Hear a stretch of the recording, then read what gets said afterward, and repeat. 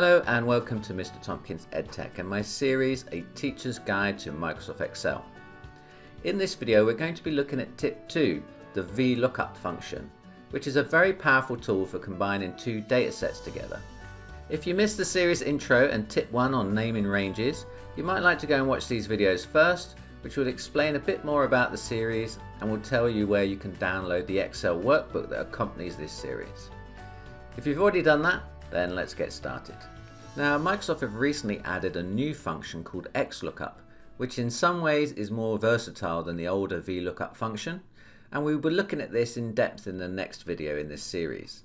However, I still think that VLOOKUP is a handy function to know in its own right, and you'll also find it in lots of older spreadsheets that were designed and built before Office 2019 came along.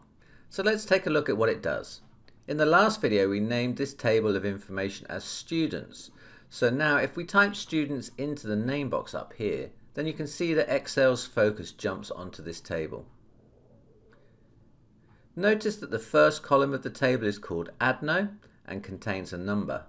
Now ADNO is short for admission number and my school uses this number to uniquely identify students at the school. Students are assigned this number when they first arrive at school and will hang on to it until they leave. Imagine you wanted to know the name of the student with an ADNO of 1003. Now if I asked you to do it, you would most likely scan down the first column until you found the number 1003, then you would read across to the name column and there would be your answer, Buzz. Now VLOOKUP function does exactly the same thing. If I type in equals VLOOKUP open brackets 1003, comma, students, comma, 2, comma, false, Excel returns the value buzz. Now let's break that function down. This function needs four input values, equals VLOOKUP, open brackets, then the first value is the value to find, next comes the range containing that value, third, column to read off, and finally there is a true or false flag which I'll explain a bit more in a moment. So the first was the value you're looking up and in this example it's the number 1003. The second value is the data range containing the information we are looking up. In this case, the named range students that we already defined in the last video. The third value is the column we want to read across to. So here the names are stored in the second column of the student's data, data range, hence the value 2. The fourth and last input value needs to be either true or false. This true false flag indicates whether you want an exact match, which is false, or the closest match, which is true. Mostly for students data, we want an exact match, so usually we're going to be using false. Let's try a few more examples.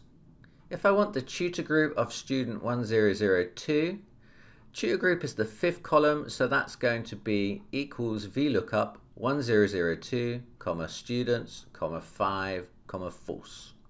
If I want the gender of student 1003, gender is the fourth column, so that's equals VLOOKUP, open brackets, 1003, comma students, comma 4, comma false.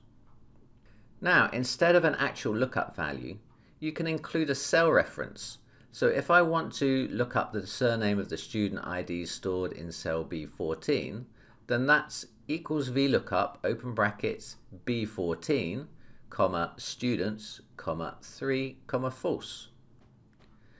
Now, it can be very useful to write them with a cell reference like this because you can then use the fill down feature to copy a similar formula into the cells below. So if I select J14 and then drag down this little square in the bottom right corner of the cell marker, it's going to copy that same formula into the cell below, but notice it changes B14 to B15 and returns the value in boots. This is an example of what's called a relative cell reference. When Excel copies a formula from one place to another, then any cell reference in the formula gets changed depending on how many rows or columns you've moved it by. We've copied it one row down, so the row reference is changed by one row, B14 to B15. Okay, it's time for you to practice this a little bit before we carry on. So pause the video now and open the accompanying workbook linked down below and open worksheet tip 2 VLOOKUP and complete task 2A. Once you finish with the task, come back and press play again.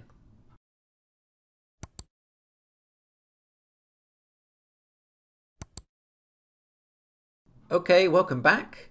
If you've managed to get these results for task 2A, good job. If not, have another go. Once you're done, remember to tick the little box below to indicate you have finished the task and that we're ready to move on. Now I mentioned that this ADNO is a unique student identifier used in our school. Most reports and datasheets that the school creates on students will usually include this code somewhere and usually it's at the front of the datasheet. Now this is extremely useful as it means you can merge data from one or more of these various reports into your own gradebook using the VLOOKUP function, as long as you too include this same unique identifier in your own gradebook. So I'm going to show you how to do this. This second table here I've already named progress, so if I select progress from the name box pull down list, it's going to refocus Excel onto this table. So now I have two named ranges, students and progress and notice that both tables have the ADNO included as their first column. Now I'm going to make a new table that brings together data from both the students table and the progress table. I've started off by listing all the ADNOs in the first column. I could just copy paste this over from either of the tables. Now the rest of the information I'm going to generate with VLOOKUPs. Okay, let's go. First up, surname. Now surname is in the third column of the students table. So here I'm going to type equals VLOOKUP open bracket D49 students 3 false. And you can see once I press enter that's given me the value duck. Next column is the name. Now that's the second column of the students table. So let's type equals VLOOKUP open brackets D49 students 2 false. The 2018 data is in the second column of the progress table. So equals VLOOKUP open brackets D49 comma progress comma 2 comma false. Similarly, 2019 and 2020 are in the third and the fourth column. Uh, so that's just equals VLOOKUP open brackets D49 comma progress comma 3 comma false and equals VLOOKUP, open brackets, D49, comma, progress, comma, 4, comma, false. Okay, now because I used relative cell references for each of the formula I entered here, I can simply select the whole first row and then use this little square on the bottom right of the selected range and drag that down to fill this formula to the bottom of the table. And voila, we have the completed table with data pulled in from two separate spreadsheets or tables. And this is the real power of the VLOOKUP function. It makes it really quick to pull data together from two separate spreadsheets. It's also doing this very reliably. If you've ever tried to merge data together from two spreadsheets manually by cutting and pasting, nearly always there's something that goes wrong because the students are in the wrong order or you've lost one or gained one from somewhere or other and you end up having to work out where it all went wonky and try and put it right. With VLOOKUP, you don't have to worry about this. It's going to look every value up precisely. If it does struggle to find what it's looking for, for example, because you asked it to look up a value that doesn't actually exist, you will get this NA error, which stands for not available. I'll show you how you can deal with these sorts of errors in tip 9 later in the series. For now, I'd like you to go and complete task 2B in the accompanying workbook, where you need to pull data together from three different tables, the students, behavior and progress tables. So pause this video and go and do that now. Once you're done, come back and press play again and we'll check results and wrap things up.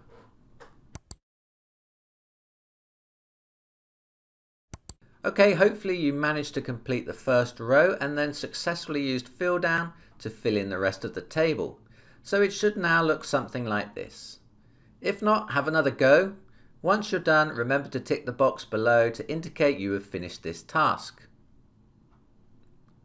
So I hope these two tasks help you to understand the VLOOKUP function and gain an appreciation of how useful it can be to bring in data from another spreadsheet into your gradebook. Now I mentioned before that combining data this way is a lot more reliable than trying to cut paste data from one book to another. Now the other major benefit is that if I now go back to one of those tables I used in my VLOOKUP formula, so for example, maybe I've realized I've spelt Puss's surname incorrectly and I go back and add a hyphen, then that change is automatically going to update across any other cells that are looking up data from it. So you can see it's also changed here and down here too, without me having to do anything extra. So for a casual user of VLOOKUPs, that's all you really need to know about it.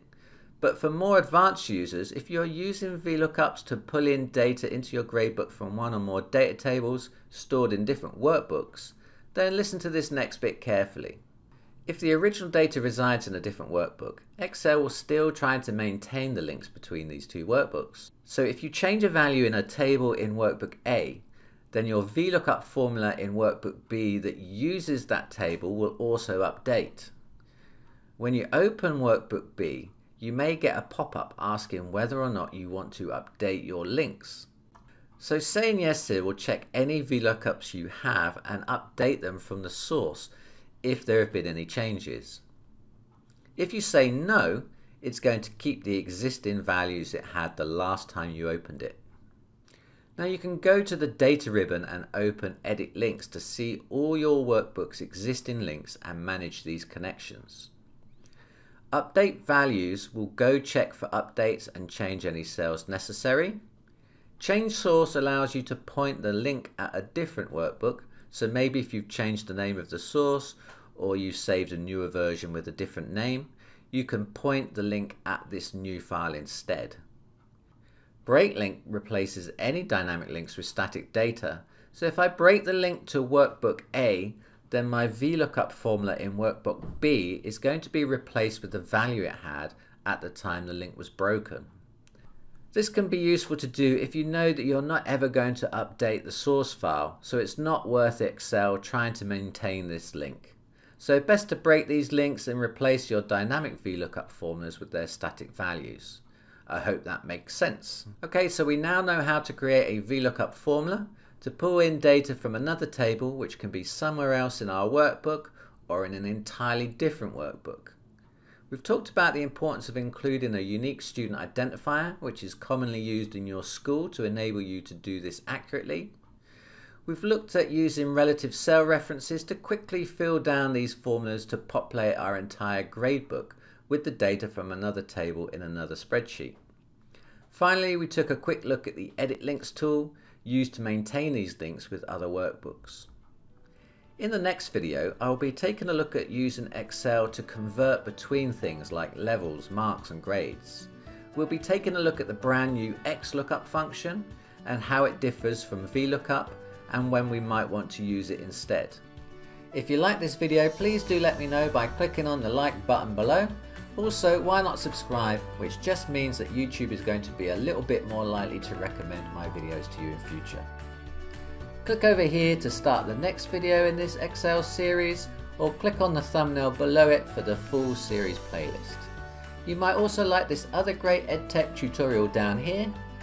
See you on the next video.